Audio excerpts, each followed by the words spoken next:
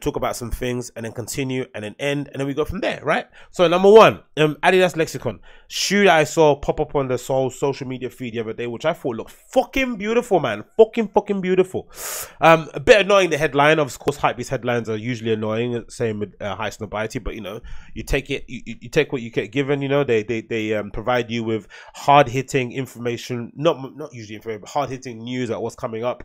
Um, it's usually quite fast turnaround, so I'll take a bit of sloppy writing. I'll take a bit of you know cringe-worthy headlines just so I can get the information that I need without having to dig around too many places. Because you know, as bad as Highsnobiety and Hypebeast are in terms of their writing, what I do like is that they're one-stop destinations to get all your information, whether it's art, whether it's fashion, whether it's sneakers, whether it's streetwear, all that stuff. You can get it all in one place. Fairly easy to do. Click around and whatever.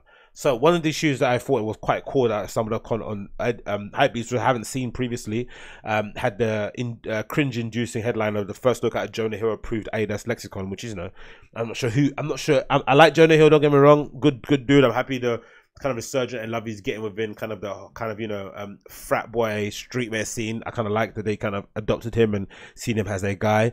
Kind of proves he's an everyday man, but I don't need Jonah Hill to approve a street for me in general for me to like it. I'm sorry, just like what I like. Don't need approval because I'm a man, huh? I'm a man, right? I'm responsible for my own thing, right? I like what I like, right? I don't walk down the street and see a kid eating a box of hot wings and think, hmm, I want some hot wings now. No, I decide what I want them. And if I see someone eating them, I'm definitely not going to eat them. Right? That's me, right? In the fucking vigil. I, I, I N D, individual. Anyway, back onto the topic. So these um Adidas lexicons which look fucking sick from Adidas. I think in an entirely new range. I want I want to read this description, but they're probably not the best because just to repeat what they see on the box. But yeah, the shoe itself looks fucking sick. Um, Adidas lexicon comes in two colors here. We've got like a white with a purple off white cell kind of color, and we've got a white with a teal as well. Really nice shoe. Um, all kind of mesh upper, nice thick robust sole for the most part.